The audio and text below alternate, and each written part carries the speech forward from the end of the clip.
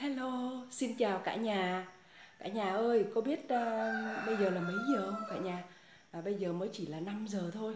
À, đằng xa gà vẫn đang à, gáy à, báo thức. Thì thật sự là hôm nay á là Phượng à, à, được phép đi ra ngoài. À, tại vì biết sao không? Hôm qua là Phượng đi vứt rác á thì à, Phượng mới à, nhìn ra đường mới thấy à, một cái anh dân phòng á thì anh ấy à, treo lủng lẳng mấy cái bánh mì ở đằng trước Ờ, thì Phượng mới hỏi là anh ơi à, bánh mì anh mua được ở đâu mà nhiều vậy anh? À, sao mà anh mua được?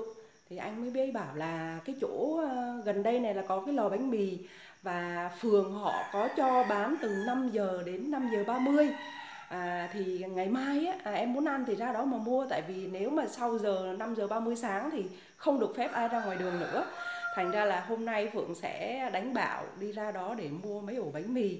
Thật sự là rất là thèm luôn, tại vì thời điểm này thì cái gì cũng thiếu, cái gì cũng không có mà ăn cơm nguội với mì tôm hoài thì cũng rất là chán và ngán.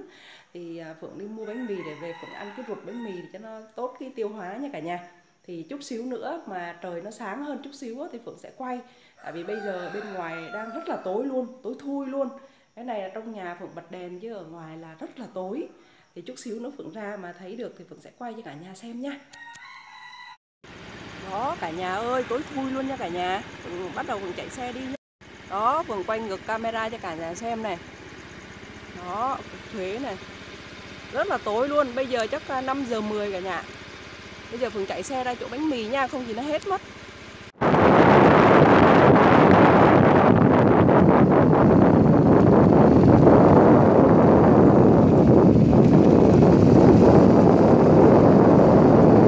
Đây, gần tới nhà bác rồi.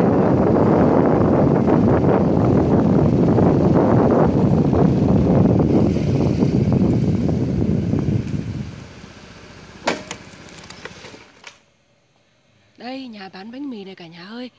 Nó 5 giờ đến à, năm rưỡi mà thời giờ này chưa mở cửa. Cả nhà ơi, tình hình rất là tình hình luôn. Thì hồi nãy Phượng có ra cái chỗ bán bánh mì á, thì Phượng có quay đó. Thì thật sự mà nói là Phượng tưởng là mới 5 giờ 15 á, là người ta chưa có mở cửa. Nhưng mà anh chị chủ nhà thấy mình đậu xe đằng trước á, thì là mới chạy ra nói á, là hôm qua á, là vẫn được bán.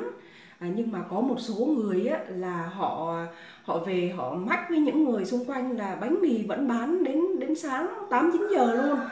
Thế là mách nhau cho nên là ờ, có người báo lên cho phường thì tổ dân phòng với phường xuống làm việc và đã không cho bán nữa.